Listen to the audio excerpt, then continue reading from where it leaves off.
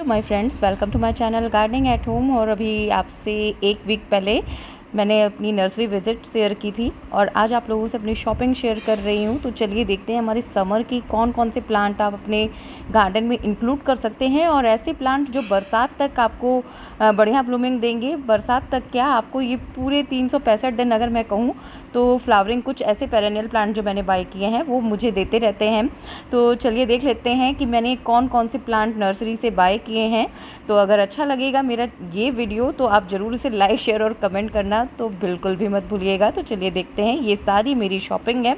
सबसे पहले तो ये प्लूमेरिया का प्लांट आपको दिख रहा है जो मैंने ये बाय किया है। तो मैंने प्लूमेरिया के दो प्लांट बाय किए हुए हैं और ऑलरेडी मेरे पास दो तीन कलर के प्लूमेरिया हैं। ये जो थोड़े डिफरेंट वैरायटीज़ मुझे दिखी तो ये मैंने लिया हुआ है।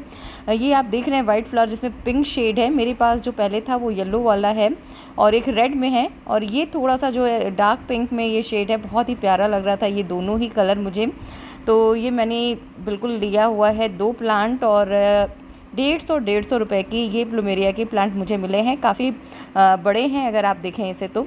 इसके बाद मैंने ये बोनजाई वाले ये लिए हुए हैं बगन तो मेरे पास जो था पहले वो डार्क पिंक में था तो अब की बार मैंने ये लाइट पिंक कलर में लिया है और ये प्लांट भी मुझे डेढ़ सौ रुपये में मिला है और अगर आप इसके साइज़ की बात करें तो काफ़ी बड़ा साइज़ है। आप इसका पॉट देख रहे हैं, काफ़ी बड़ा है।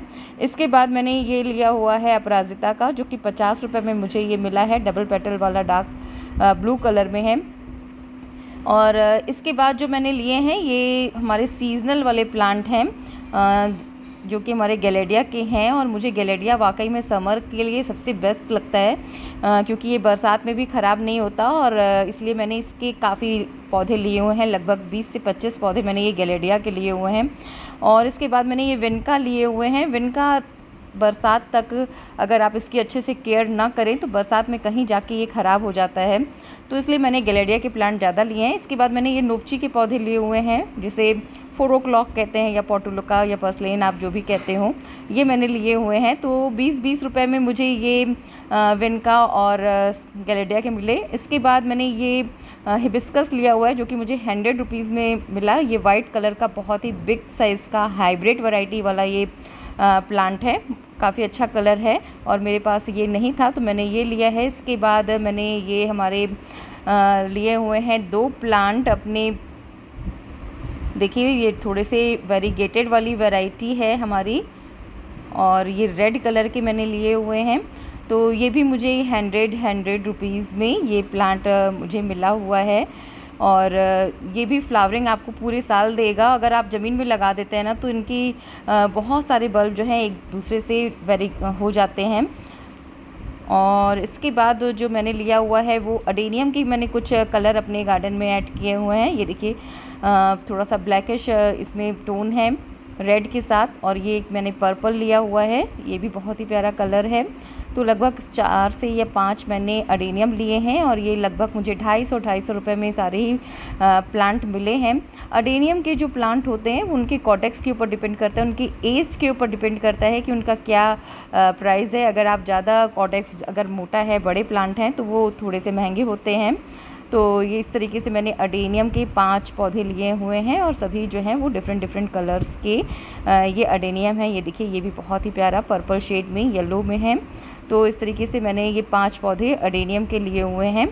तो जब भी अडेनियम लें आप कॉडेक्स जो है वो ज़रूर से चेक कर लें अपने आ, बिल्कुल अडेनियम का। तो बहुत ही प्यारा लगता है और डेज़र्ट रोज़ है। समर में बहुत ही अच्छी ब्लूमिंग करता है। और बिल्कुल आपके ये पास हमेशा ही रहने वाला है पेरेनियल प्लांट है। विंटर्स में भी आपको ये ब्लूमिंग बीच बीच में देता ही रहता है और जब बहुत ज़्यादा ठंड आ जाती है, उस समय ये थोड़ा डोरमेंसी पीरियड में चला जाता है। बरसात में भी ये आपको अच्छी फ्लावरिंग देता है। तो ऐसे प्लांट आप ज़रूर से बाय करें। इसके बाद मैंने ये मांडे विले लिया हुआ है। बहुत ही प्यारा कलर है, एकदम डार्क रेड कलर में है। मेरे पास पिछले साल का भी वाइट में और पिंक में है और अब की बार इन्होंने बताया ये डार्क रेड में है तो मैंने ये ले लिया है। वैसे मुझे ये पिंक ही लग रहा है, पर उन्होंने कहा ये डार्क रेड है तो मैंने ले लिया। वैसे ऑलरेडी मेरे पास पिंक है।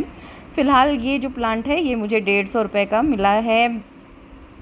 तो ये है कुछ हमारी शॉपिंग और जिसमें हमारे पेरेनियल प्लांट मैंने ज़्यादा बाई किए हैं, और सीजनल प्लांट की जो ये पौधे हैं, बीस से पच्चीस रुपये में हमें मिले हैं। ये मैंने थोड़े कम बाई किए हैं। तो जो, जब भी आप ऐसे प्लांट लेना समर वाले तो थोड़े आप आप देख रहे हैं यहाँ पे कितने सारे गमले मेरे खाली हुए हैं। बिल्कुल सारे में ही ये सारे जो मेरे सीजनल वाले प्लांट हैं ना, जितने भी, वो सारे मैं लगाने वाली हूँ।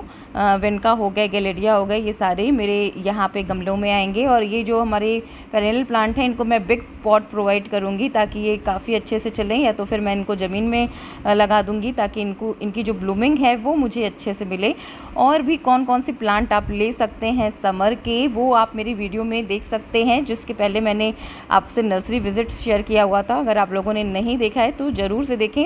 और हो सके तो पेरेनियल प्लांट आप ज़्यादा इंक्लूड करें इस समय।